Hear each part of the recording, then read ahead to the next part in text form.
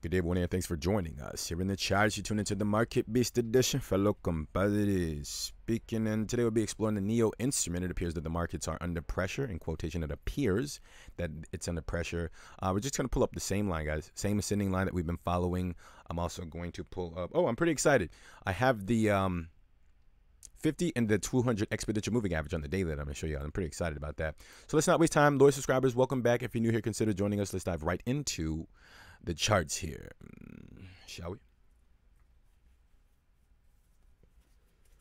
All right, so today is April the 8th, sorry, the 9th, 2021, and the current price of NIO is going to be $37.62. It's down approximately 2.7% for the day. All right, guys, welcome back. ASMR Interesting Analysis. So here's the one line. These are the weekly candles. That's it. Super simple. Simple. Ladies and gentlemen, what you are witnessing on the screen is a uh, the price activity as it found support on this ascending line and uh, had a very extreme move to the upside. And as of recently, it appears that the market has well, not it appears, it has had an official breakdown below the financial support line. I can't make that up. Okay, arbitrary or not, the price action is below that ascending line. Yes. Okay. So what needs to happen next is we went over this, guys. $45 NIO. buyers, you guys got to step in, get this price back above the ascending support line. Well, at least it was support, and it could still potentially be support as long as the NIO buyers step into the market very aggressively and explode, breakthrough, whatever you want to call it. The price action needs to get above a minimum of $45. As we mentioned in that previous video, I was like, listen, if the price goes up to like 38 or 40 dollars? No that's not enough. It just appears that the market is finding resistance at the previous level of support which is why we did not close our positions. We held them strong and we literally closed them today um, at a very nice uh, profit. NIO bulls take it easy there. All right i just play the swings. All right so the market still has the opportunity to move up do I still have my positions against NIO? No, close them out. I close on a down day and I buy on an up day if I'm putting it down, and then vice versa. Okay, if I'm buying to, for it to go up, this would be the day that I buy. Am I buying for it to go up? No. Um, and of course, you know, I sell on a uh, and an up day if I'm betting, you know, with the market to go up. NIO is in an overall uptrend, guys. Please understand that this is not a bearish nor bullish video on NIO. It is explaining the beautiful story behind the price action and what needs to take place in this market in a very short period of time. Yes, this is a what did the guy tell me? Yes, this is a short-term strategy. Um, the market needs to get above forty-five dollars. Okay, this is this is not complicated to understand. Typically, when you have a breakdown of a financial support line where this is sending, I know I explain this a lot, guys, but I truly want to beat this in my um, new technical guy's brain because they're going to be like, wait a minute. Napolean's been saying this the whole time. It makes sense now. I get it. Right. And I'm not perfect, right? But I truly understand the ebbs and the flows to the best of my ability, which I get right sometimes and I get incorrect. Okay. I'm still working on my strategy. When you have a break below a support line, when it's a fake out, the very next candle, which should have been this green candle, which is why I was saying it needs to get above 45 on this candle right here.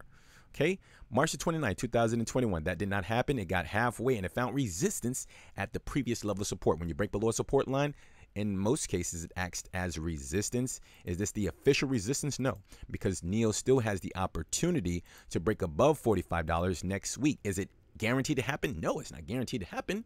But I'm telling you what needs to take place in the market. So when you see things taking place in the market, like the market is moving down, or I mean, the previous level of support is going to be 35.10. So if you see the market getting below like 35.10 and closing below that level, that's this is the most important thing I ever want everyone to, to leave out with.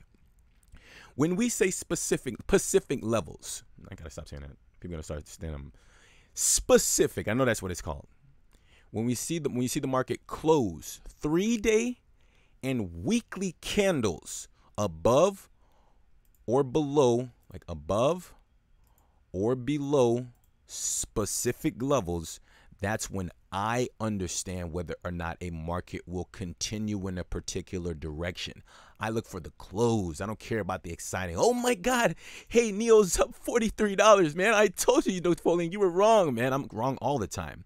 I don't care about that, guys. When I see the market move in a specific direction, I look for the close. How's it going to close? And all that price activity doesn't bother me. Right now, we're up against a weekly close. Okay. So, this is where it's important for me to understand that the market is closing above 35.10. Well, actually, if we kind of look at it from a weekly standpoint, I would do something like this. It would either be like right here Uh, like so, if you see the market closing above the what is that 37.96 level, yeah, somewhere like right about there, like 38.11. So if you see the markets close above that level, that's beautiful. That is beautiful. If you see NIO above 38.11 by today, April the 9th, 2021.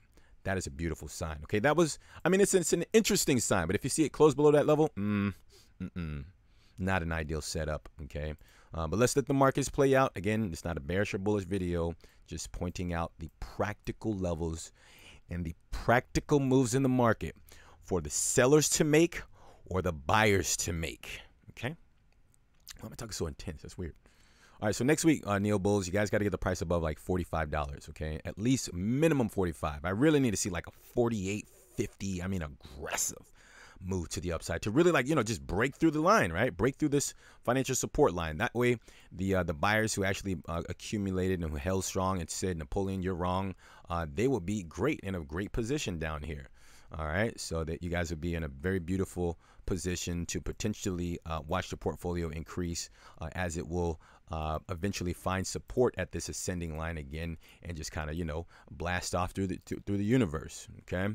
So that's an interesting setup for the bullish case but again the the lower level that the, the buyers really need to protect is uh 35 35.10 the price is currently above that level. It's a negative day. This is an interesting uh, sign for the uh, the market okay?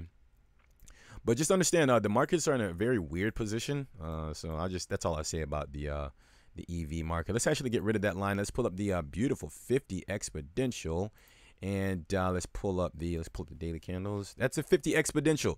That's not an ideal setup. The 50, the market is below the 50 exponential. That's not good. But one of the interesting things that I've noticed is this. It's above the 200 moving. Now that's this is where it gets important, guys. Uh, for those of you who don't understand about like moving averages, um, again, I always said I'm not an expert, but Typically, when a market is very healthy and it's moving in an upwards fashion or trajectory, whichever one, uh, typically it will stay above the 50 exponential moving average and at a very minimum uh, above the 200 moving average. And if you look back here, back when it all kind of uh, kind of this area here is just kind of like the consolidation before the move up. Like all of this price activity you can't even see it. Let me turn that white. Like all of this price activity like in between September the 9th, 2019, all the way over to like June the 5th, 2020. All of that is consolidation, okay? So let's say it's like 271 days of consolidating, which is good before the very aggressive move to the upside. But the most important thing is once the price activity got above the 250 exponential moving average, if you can see that, um, after a lengthy consolidation, oh my goodness, that's such a bullish sign. Like it's truly the the, the golden sign, right? That a lot of people, um, and it's actually the golden cross. This is the actual golden cross right here that took place on uh, June the 2nd, 2020, when that golden cross happened after a consolidation range. Take note of that. When you have a when you have a golden cross after a verifiable consolidation range, preferably like a sideways consolidation range, oh my goodness. That is so bullish. That's extremely bullish. I mean, obviously, here in hindsight, you can see what happened. The, the price literally exploded. But now here's where it gets pretty interesting because the market needs the market. I'm not gonna say need. Well, actually, yeah, essentially, it needed it needs financial support here at the 200 moving average. This is not an ideal setup because if the markets were healthy and it has strength, it wouldn't necessarily need uh, strength uh, support, financial support at the 200 moving average. Believe it or not, I also look at moving averages as support resistance. Uh, as support and resistance. Okay, so uh, right now the financial support is coming in from the 200 exponential moving average. So, what needs to take place in order for this market to continue the trajectory to the upside? NIO's in an uptrend. This isn't a bullish bearish video. Sorry, this, I'm sorry. It's not a uh, bearish video. It's not a bullish video. Just tell me what needs to take place. Pull up your charts, please the market has bounced or the market has found a reaction at the 200 moving average. Okay.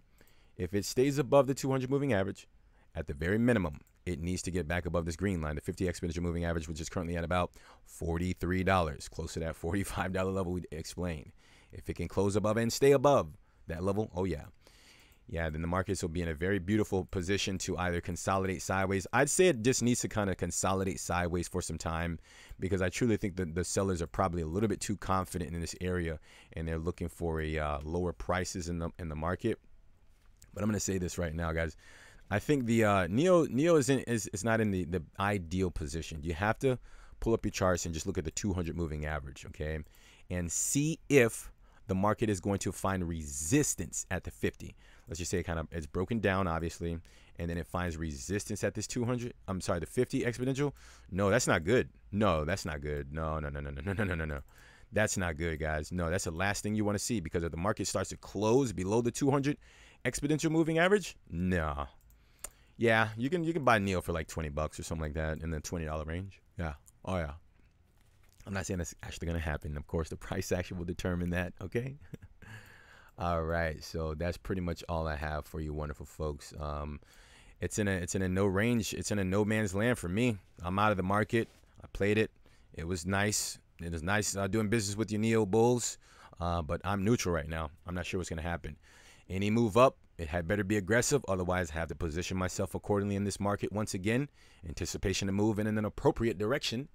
So that's pretty much all I wanted to show you guys. The uh, the exponential moving averages on the uh, the daily. They look pretty interesting. Um, I don't like the fact that the the, the 50 exponential is starting to like move down. You know that doesn't necessarily mean it's actually going to cross. I think we explained this on our previous video. If it kind of goes down and it does something like that, that's beautiful, right? It'd be like somewhat of a fake out because once you get the 200 to cross, the red line to cross below the uh, the green line across below the red line. Let me see if I can color code this stuff. Stop talking so much, I guess. All right, so that's the red line right there. And then we'll turn this um, line here. Sorry. So unorganized. Sheesh. All right, so the white line here would actually be green. So this would be technically considered a, uh, a fake out. Like if you see something like this and it doesn't necessarily cross, um, and of course it'll still be within a golden cross. Now, if the opposite happens, it's called a, um, a death cross.